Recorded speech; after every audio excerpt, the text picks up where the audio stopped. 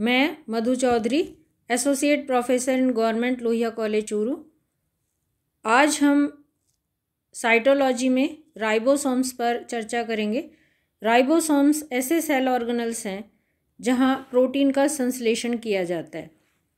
सन 1955 में कोशिका द्रव्य में जी एस पैलेड ने कुछ अपारदर्शी कण देखे और इन्हें राइबोसोम का नाम दिया।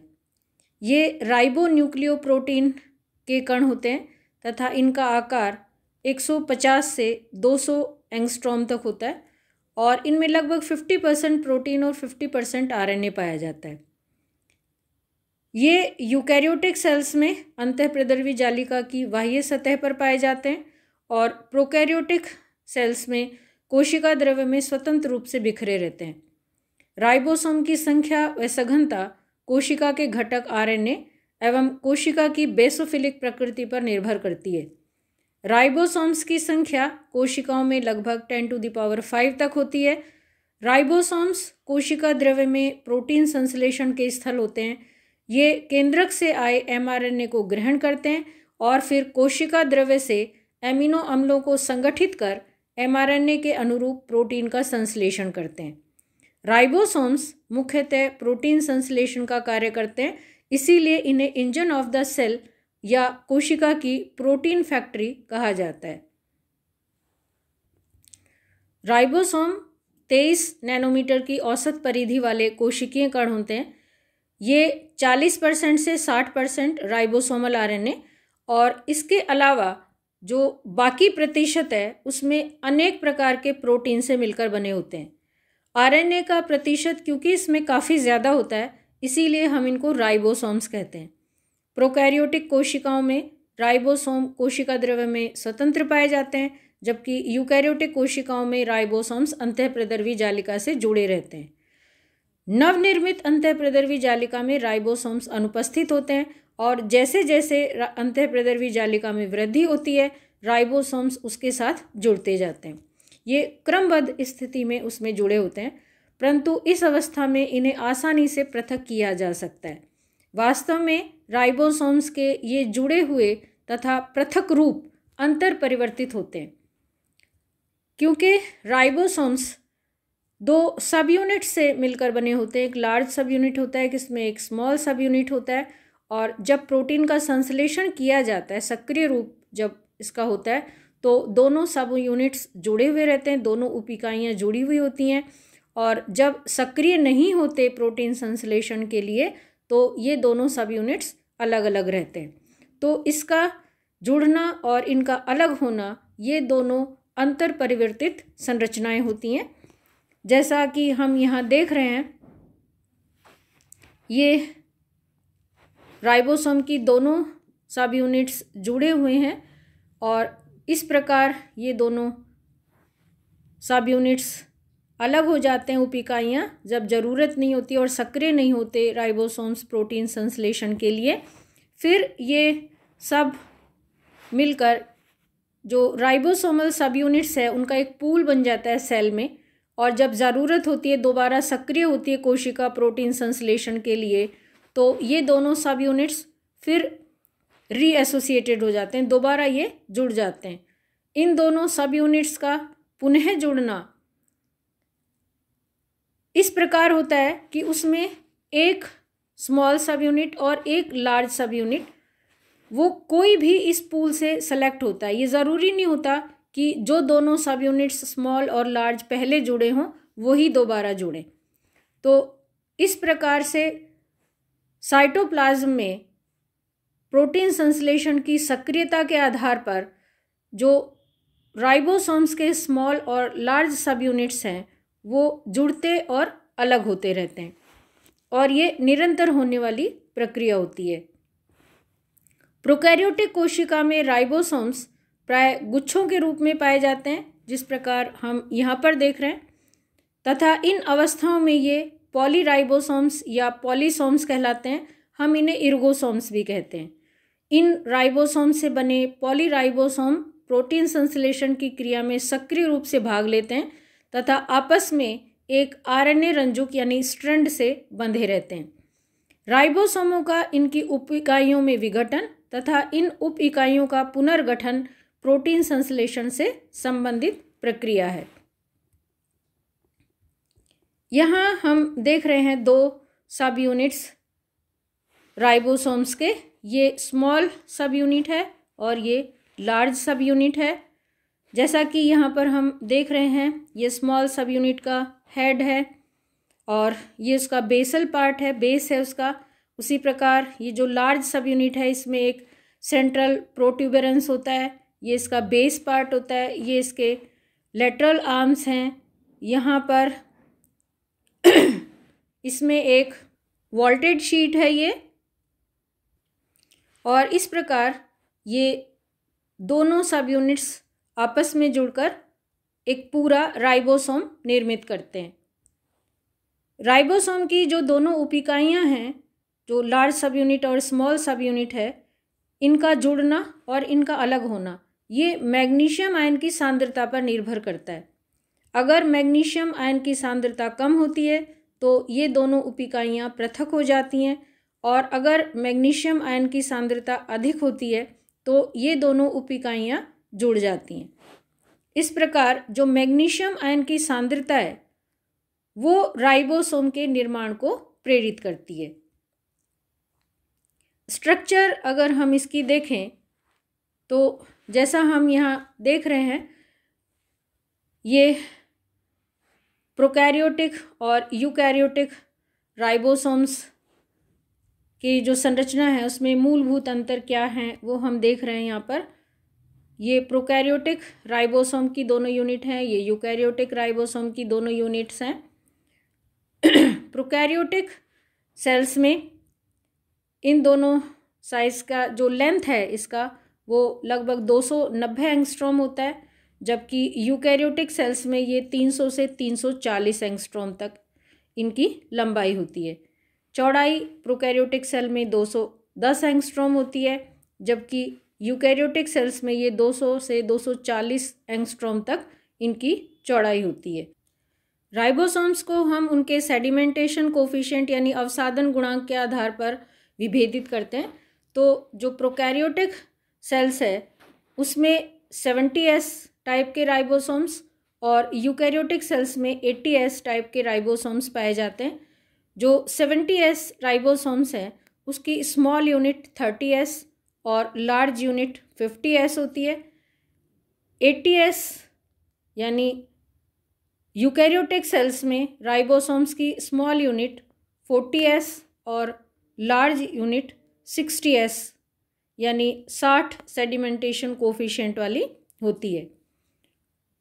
इन दोनों प्रकार के उप इकाइयों में जो लार्ज और स्मॉल सब यूनिट्स हैं उनमें उपस्थित आरएनए तथा प्रोटीन आपस में बंधे हुए तथा एक जटिल क्रम में व्यवस्थित रहते हैं। यहाँ हम एक सेवेंटी एस यानी प्रोकैरियोटिक सेल के राइबोसोम को देख रहे हैं। तो ये इसकी लार्ज सब यूनिट है। ये ये सेंट्रल प्रोट्यूबरेंस ये बेस है इसका, ये लेटरल आर्म है, ये वॉल्टेड शीट है और ये इसका स्मॉल सब यूनिट है। जिसमें हम देख रहे हैं ये इसका हेड पार्ट है, ये इसका बेस या बॉडी जिसको हम कहते हैं, ये डेंट है इसमें और यहाँ पर ये इसमें क्लेफ्ट पाया जाता है। ये एक दूसरे के ऊपर जब व्यवस्थित होते हैं तो स्मॉल सब यूनिट का जो क्लेफ्ट है वो और लार्ज सब यूनिट का जो वॉल्टेड शीट है, यहाँ एक टनल फॉर्म हो जाता है। ये एक टनल फॉर्म हो रहा है। और ये जो टनल इसमें फॉर्म होता है, यहाँ से एमआरएनए इसमें एंटर करता है। जब प्रोटीन सिंथेसिस स्टार्ट होता है और ये राइबोसोमल जो राइबोसोम्स हैं, वो एमआरएनए के साथ जब दोनों यूनिट्स अटैच होती हैं तो इस तरह से एमआरएनए इसके अंदर, इस टनल से एंटर होता है और उसके साथ ये अटैच हो जाती हैं। फिर एक तरफ़ से ये एमआरएनए जो रीड किया जाता है और फ्री होता रहता है और दूसरे साइड से ये हम देख रहे हैं पॉलीपेप्टाइड चेन है वो निर्मित होती रहती है।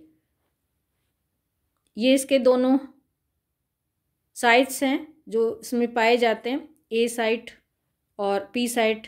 एक एमिनो एसाइल साइट होता है जहाँ पर एमिनो एसिड्स जुड़ते हैं और एक पेप्टिडाइल साइट होती है जहाँ से जो पॉलीपेप्टाइड चेन है वो फ्री होती है।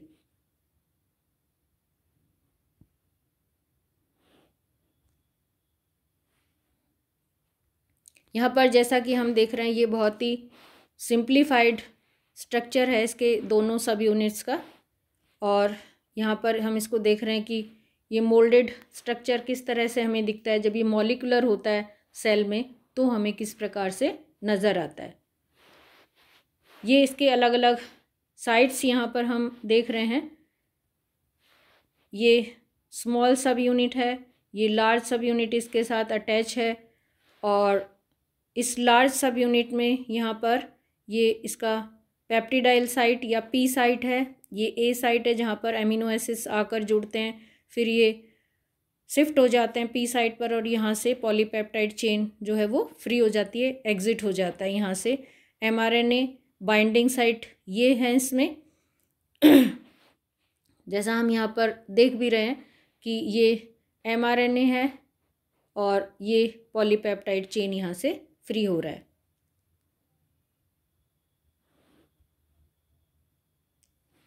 केमिकल कंपोजिशन अगर हम राइबोसोम्स का देखें तो राइबोसोम के मुख्य घटक या अवयव आरएनए तथा प्रोटीन, जो इसके स्मॉल और लार्ज सब यूनिट्स जो हैं, इसमें लगभग समान अनुपात में पाए जाते हैं।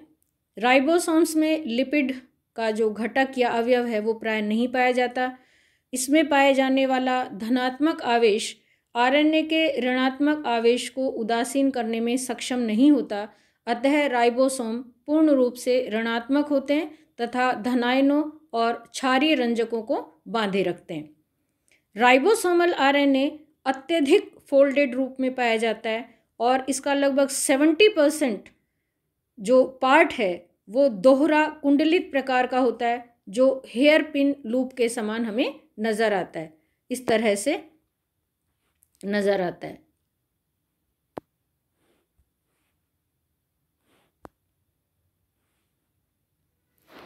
प्रोकैरियोटिक कोशिका में, अर्थात सेवेंटी एस राइबोसोम्स में, राइबोसोमल आरएनए तीन प्रकार के होते हैं।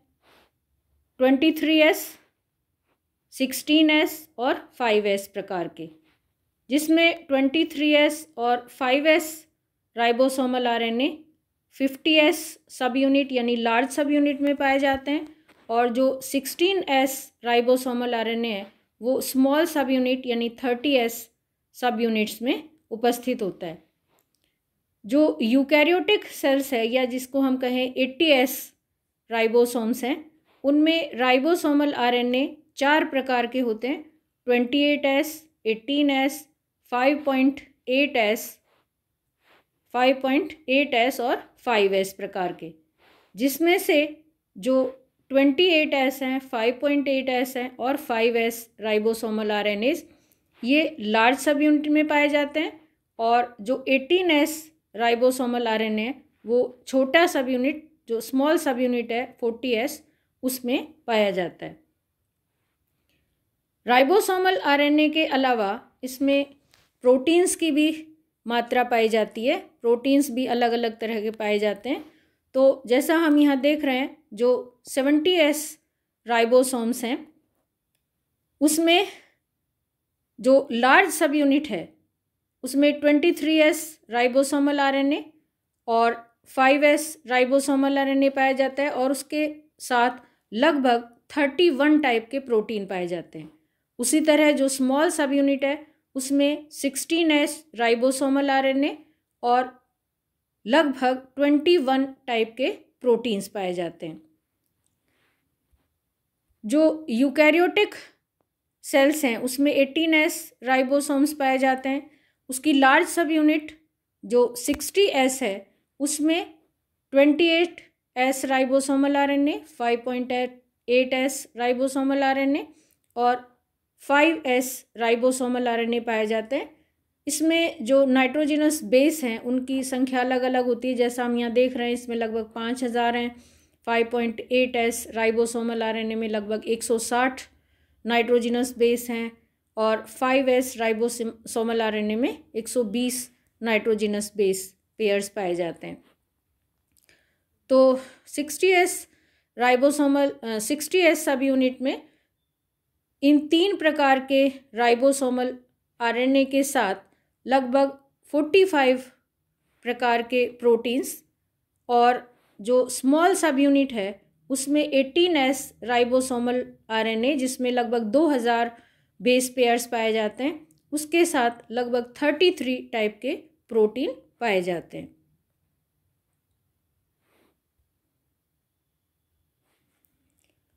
सेवेंटी एस प्रोकैरियोटिक राइबोसोम का अणुभार, यानी molecular weight, two point seven into ten to the power six dalton और एटीन एस यूकैरियोटिक राइबोसोम का molecular weight four into ten to the power six dalton होता है। राइबोसोम्स में पचास से पचपन प्रकार के जटिल प्रोटीन जिन्हें हम कोर प्रोटीन भी कहते हैं, वो कोर प्रोटीन के रूप में ये प्रोटीन पाए जाते हैं, जिनकी इनके निर्माण में महत्वपूर्ण भूमिका होती है। बायोजेनेसिस ऑफ़ राइबोसोम्स यानी जैव जनन उसका किस प्रकार होता है? यानी उसका उद्भव किस प्रकार होता है? तो राइबोसोमल आरएनए का जो बायोजेनेसिस या जैव जनन है, वो आरएनए प्रोसेसिंग का एक महत्वपूर्ण और स्पष्ट उदाहरण है। राइबोसोम आर, राइबोसोमल आरएनए का एक बड़ा 45 एस अणु पहले निर्मित होता है, जिसमें लगभग चौदह हज़ार न्यूक्लियोटाइड्स होते हैं।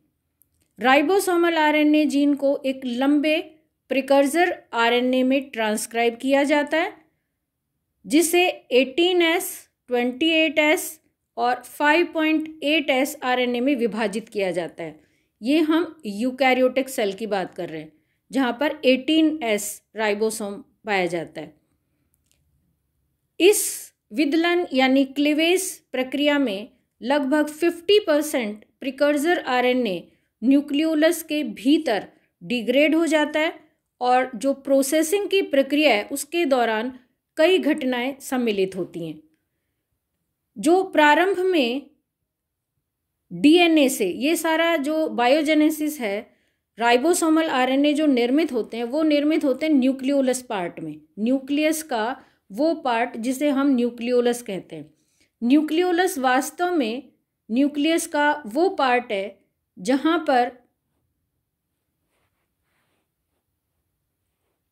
ये हम देख रहे हैं, न्यूक्लियस है, हम देखें, और यहाँ पर क्रोमेटिन सब्सटेंस रहता है। तो जो ये क्रोमोज़ोम है, इन क्रोमोज़ोम में एक प्राइमरी कॉन्स्ट्रक्शन पाया जाता है, प्रथम संकुचन पाया जाता है, जिसको हम कहते हैं सेंट्रोमेयर इस सेंट्रोमेयर के अलावा कुछ ऐसे राइबोसोम्स होते हैं, जहाँ पर द्वितीय संकुचन भी पाया जाता है। और ये जो सेकेंडरी कॉन्स्ट्रक्शन या द्वितीय संकुचन पाया जाता है ये वो क्षेत्र होते हैं जहाँ पर राइबोसोमल आरएनए निर्मित होते हैं डीएनए से। और इन क्षेत्रों को, क्योंकि यहाँ पर जो बहुत बड़ी संख्या में या कहें बहुत बड़ी मात्रा में राइबोसोमल आरएनए निर्मित हो रहे होते हैं तो ये जो प्लेसेस हैं वो डेंस नज़र आते हैं न्यूक्लियस में। और ये जो डेंस प्लेसेस होते हैं न्यूक्लियस में, इन्हीं को हम न्यूक्लियोलस कहते हैं। तो न्यूक्लियोलस में या कहें कि डीएनए के वो पार्ट जहाँ पर राइबोसोमल आरएनए निर्मित हो रहे होते हैं, वो न्यूक्लियोलस हैं और न्यूक्लियोलस में राइबोसोमल आरएनए फॉर्म होते हैं। तो जो forty S ribosomal RNA form होता है, एक जीन से, इस राइबोसोमल आरएनए को स्पेसर आरएनए के स्ट्रेच द्वारा अलग किया जाता है और जो प्रतिलेखन का क्रम है इसमें, या कहें कि जो ट्रांसक्रिप्शन का जो क्रम इसमें होता है, वो फाइव डैश एंड से eighteen S, five point eight S और ट्वेंटी एट एस। ये थ्री डेज़ एंड की ओर इस क्रम में बढ़ता है।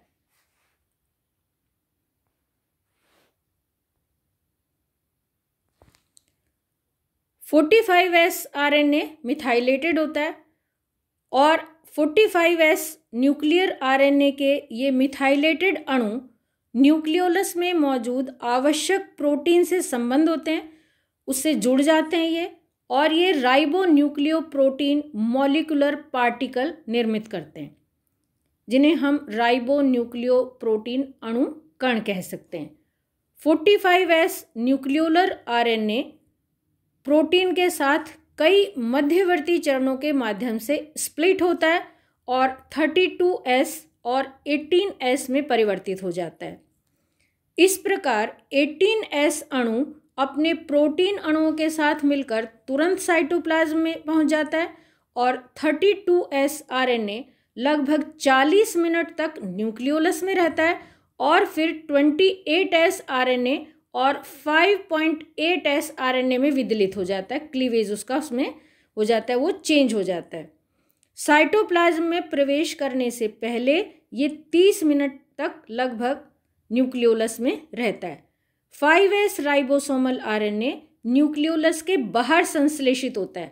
न्यूक्लियस के बाहर नहीं न्यूक्लियोलस के बाहर। न्यूक्लियोलस वो जगह है डीएनए का वो पार्ट है जहाँ पर राइबोसोमल आरएनए ज़्यादातर मात्रा में, जो हम देख रहे हैं, twenty eight S ribosomal RNA, five point eight S ribosomal RNA और एटीन एस वहाँ पर निर्मित हो रहे हैं। लेकिन जो फाइव एस राइबोसोमल आर है, वो न्यूक्लियोलस के बाहर डीएनए के दूसरे पार्ट से ट्रांसक्राइब होता है।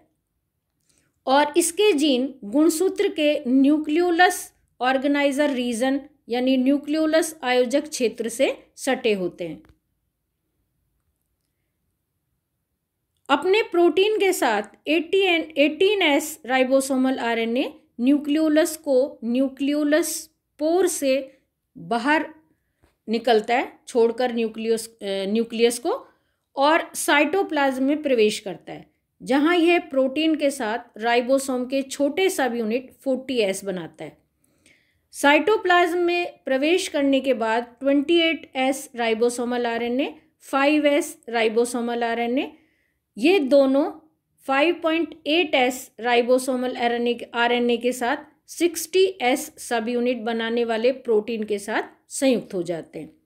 तो जो क्लीवेज इसका होता है, उसको हम जिस प्रकार यहाँ देख रहे हैं, सबसे पहले जो ट्रांसक्राइब होता है, वो forty five S ribosomal R N A form होता है, जिसका क्लीवेज यहाँ होता है स्प्लिट होकर forty one S ribosomal R N A में, जिस, जो दस दो सब यूनिट्स में डिवाइड होता है थर्टी टू एस और ट्वेंटी एस ट्वेंटी एस बाद में इसका क्लीवेज हो जाता है एटीन एस में ये कन्वर्ट हो जाता है और जो थर्टी टू एस है, उससे दो भाग बनते हैं ट्वेंटी एट एस और five point eight S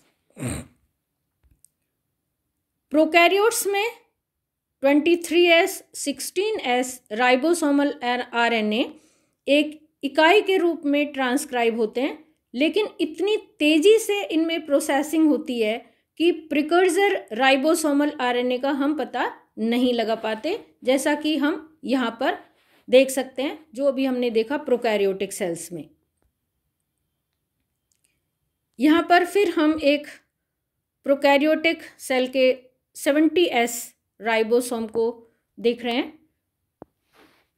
ये सेवेंटी एस राइबोसोम के दो यूनिट हैं, small sub unit, large sub unit, और इसका molecular weight two point seven into ten to the power six dalton है। इसका साइज़ जैसा हम पहले भी देख चुके हैं, दो सौ एंगस्ट्रॉम इसकी लेंथ रहती है। इसमें दो सब यूनिट्स हैं, एक large sub unit fifty S small sub unit thirty S small sub unit का मॉलिकुलर वेट है, point nine into ten to the power six dalton और लार्ज सब यूनिट का मॉलिकुलर वेट है one point eight into ten to the power six dalton यहाँ पर जो, जैसा हम देख रहे हैं कि इसमें डबल ये कॉइल्ड भी रहता है सो बहुत इसमें कॉइलिंग होती है, जैसा यहाँ पर देख रहे हैं, आसानी से नज़र आ रहा है। और जो स्मॉल सब यूनिट है, इसमें सिक्सटीन एस राइबोसोमल आरएनए के साथ twenty one specific ribosomal proteins हैं, जो लार्ज सब यूनिट है, इसमें twenty three S ribosomal R N A five S ribosomal R N A और लगभग थर्टी फोर टाइप के स्पेसिफिक राइबोसोमल प्रोटीन्स हैं। अलग अलग मॉलिकुलर वेट हम इनका देख सकते हैं। सिक्सटीन एस राइबोसोमल यूनिट का मॉलिकुलर वेट है point six into ten to the power six dalton twenty three S ribosomal RNA का मॉलिकुलर वेट है one point two into ten to the power six dalton five S ribosomal RNA का molecular weight है four into ten to the power four dalton eukaryotes में ribosome को नाभिक में assembled किया जाता है. फोर्टी फाइव एस आर तेज़ी से प्रोटीन से जुड़ता है और लगभग एटीन सॉरी, एट्टी एस का एक कण बनाता है, जिससे हमने देखा था बाद में कि क्लिवेज होता है, स्प्लिटिंग होती है और फिर ये अलग अलग उसके जो लार्ज और स्मॉल सब यूनिट्स बनाता है। राइबोसोमल प्रोटीन का संश्लेषण आंशिक रूप से न्यूक्लियोलस के अंदर और आंशिक रूप से साइटोप्लाज्म में होता है, जो प्रोटीन है। साइटोप्लाज्म में संश्लेषित प्रोटीन न्यूक्लियोलस में इकट्ठे होते हैं और राइबो न्यूक्लियो प्रोटीन अणु कणों में ribonucleoprotein molecular particles में इनका उपयोग किया जाता है, जो बाद में राइबोसोम्स का निर्माण करते हैं। फ़ंक्शन अगर हम देखें तो राइबोसोम्स का कार्य कोशिका में प्रोटीन के संश्लेषण से ही संबंधित होता है। तो इस प्रकार हमने देखा कि राइबोसोम्स की क्या संरचना है और उनका केमिकल कंपोजिशन क्या है और उनके कार्य क्या है। Thank you.